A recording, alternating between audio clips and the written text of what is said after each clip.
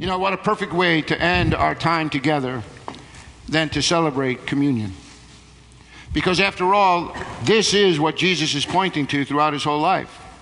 He's saying what is taking place here has far reaching implications for every single person who will put their faith in him. I want you to think about this for a moment. Go back into that text that we just looked at, this paralytic man, and he's laying on a mat. And all of a sudden, Jesus comes along and says to him, Get up, take your mat, and go home. All your life, you've been paralyzed. In your head, you, you, you dreamed of the day that maybe you would be walking. But no matter how much you tried to will yourself, those limbs, they just didn't respond. And then here comes this teacher claiming an authority that belongs only to God. And he says, Rise and walk, take up your mat, go home. How about if you had an outlet in your house that was attached to a switch? If you flip the switch, you know now that power has come on into that, into that outlet. About if that paralyzed man was lying there and he didn't get a physical sensation? It wasn't like all of a sudden he felt like you know, like you wake up and your your your arms asleep or something. You get all those pins and needles in it. How, how about like nothing like that ever happened? He's just lying there, for some reason, God, who speaks this word, brings movement to his whole body. But he's just captivated by looking at Jesus, Jesus says, Okay, now get up and walk. And for that brief moment, the guy's just laying there and he's almost tempted to say, Yeah, but I'm paralyzed. You know, that man had to get up and walk. I, I wonder how many of you are here today spiritually are stuck in one space that no matter what Jesus says, you're forgiven. I've taken your sins, I've put it into the lowest parts of the sea. I've taken that hard heart of yours and I'm giving you a heart of flesh. I'm asking you to forgive as I have forgiven you. I'm giving you my spirit so that love, joy, peace, patience, gentleness, goodness, faithfulness, kindness, self control that is what's growing in your mortal bodies. We get all those promises and then we're lying there and we're saying, Yeah, but God, like you don't know what this person did to me. Or you don't know how I just so totally disappointed you. Or you don't know how this sin, it, it I, I live it every single day. It's got me in chains. And Jesus is saying the same thing that he said to that paralyzed man Get up and walk. I died for you. I'm giving you new life. That sin and shame is nailed to the cross. We've been set free. And see, so when this bread is passed, it is a symbol of the body of Christ for you. You know what happens sometimes? People come to communion, they sit there and they go, oh, I don't know if I can take communion because I just don't feel worthy. Here's a news flash you will never be worthy.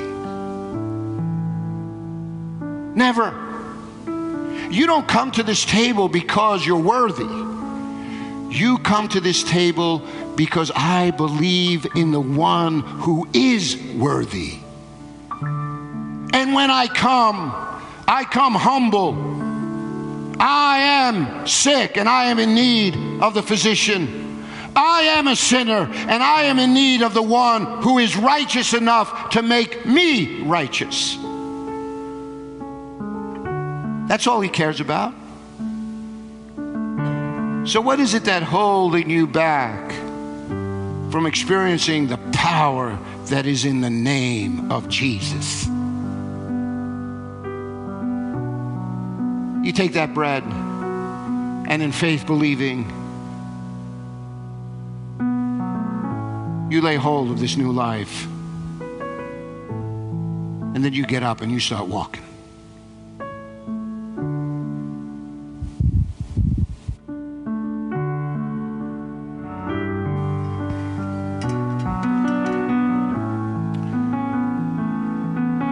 In a moment, you're going to be receiving a cup. It is the new wine. It is this new covenant that Jesus makes with us. This bread that you just took was a reminder that Jesus died for your sins. By admitting that you were a sinner, it's like you took that wineskin and now you just opened it up. Taking this cup is now filling it. I want this promise of God to be made manifest in my life. I want to live in a way that pleases Him. I want the searchlight of the Spirit of God to go throughout the many rooms of my house and clean it up for that day when I will celebrate the wedding feast of the Lamb. Now, maybe some of you are here today and you've not quite opened up that door. You're playing the game a little bit. I'm just saying, Jesus knows. Come on. Let's just kick open that door. Let Him fill us. I'm going to pray. So I'm going to ask you to stand uh, when you get your cup. We're going to come back and we're all going to stand together. And then we're going to pray that God would just do something amazing. All right? All right.